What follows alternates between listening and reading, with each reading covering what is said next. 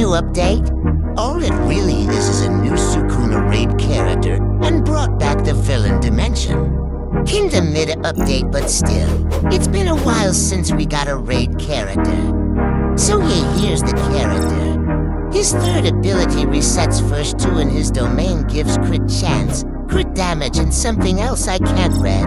And his accessory is the best you can get from raid. It's the same as maneuver gear. Either Kinda Mid, the only one I know who it is is Valdori. So yeah, we gonna do Sukuna raid using Sukuna.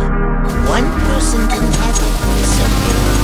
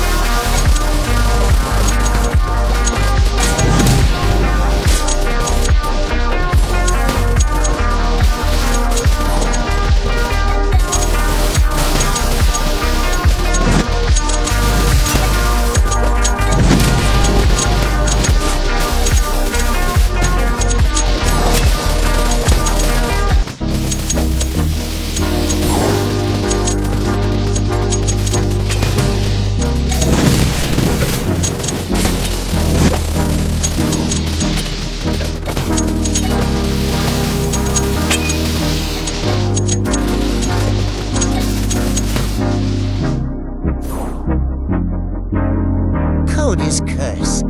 So yeah, I'm gonna do raids until I drop Sukuna. I'm not gonna buy him. Anyway, let's check him out. First ability looks pretty good. This looks good too.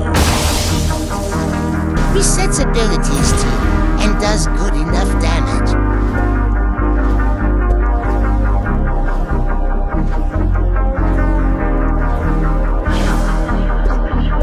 TBH's effects.